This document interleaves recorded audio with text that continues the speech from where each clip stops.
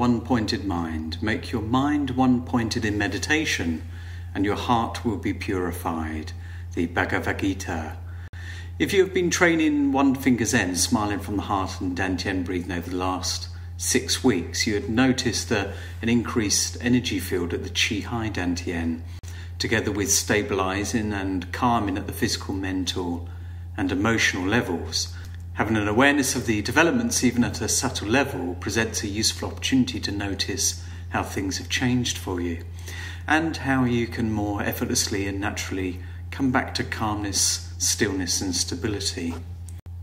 A quote that I like about no action. What should we do with the mind in meditation? Nothing.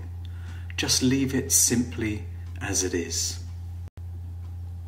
During the six weeks of this course, we've been observing and applying the practice to experience and notice the internal and external outcomes. One of the things the practiced from class last week was noticing our response to circumstances without the need to try and change them. Instead, allow the systems to come back to stillness as a result of the training without forcing anything. One of the quotes I like around stillness is just still the thoughts in your mind. It is good to do this right in the midst of disturbance. Several weeks back, um, we used these skills in an exercise around focused listening, and in that practice, we listened to the other person whilst they told us about their problems. At the same time, uh, we were remaining quietly and calmly present. The results were obvious when compared to the common way a lot of people attempt to listen that often results in disturbances for both parties. So we're now at week seven, and this week we're going to use the mind, heart, and energy center together to further develop our stabilizing presence and being without struggle or stress in systems. The methods and skills we're going to use are being in Wuji, smiling from the heart, lifting the sky, and two aspects of yin yang one finger Zen and Dantian breathing. We're also going to be using the sinew metamorphosis as a way to boost energy. So you'll notice that each week we're mostly using the same methods and developing the skills. Obviously, we do this on purpose to help you, um, just as it's preferable to go under the knife of a skillful surgeon rather than someone who is in med school. It's more desirable to continue improving your skills and getting better at applying them to all circumstances. That's one of the things that I love about the Shaolin art. It's not what you do, it's the way that you do it.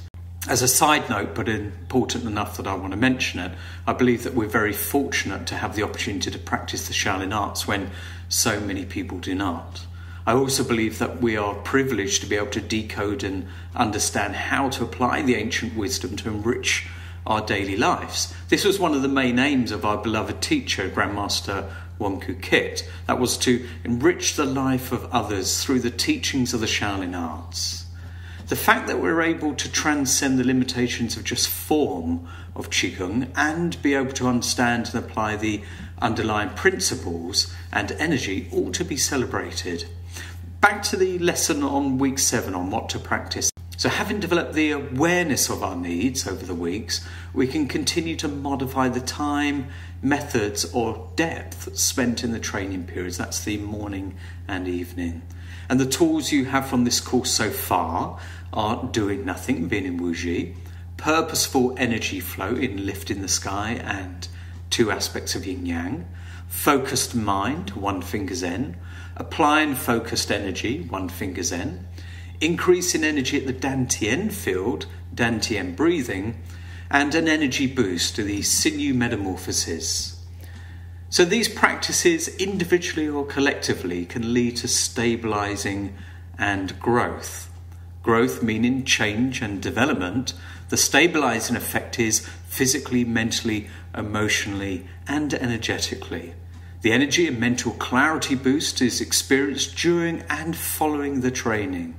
So continue to practice according to your needs and skill level and experiencing the effects of calmness, stillness, and stability at the various levels.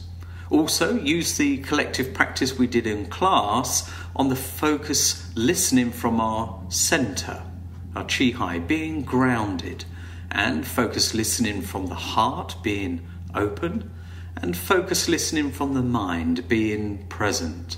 Then coming from and being one stabilizing energy field see how when you come from just one or all these areas can change the physical, mental, and emotional and energetic state in the terms of stabilizing energy internally and externally. So enjoy your practice and let me know how you're getting on, um, how this is working for you this week, and also if there's anything that you are finding challenging and maybe um, there's nothing you're finding challenging and you just want to share your experiences as well. So um, thanks very much for turning up for your training again and we'll see you next week.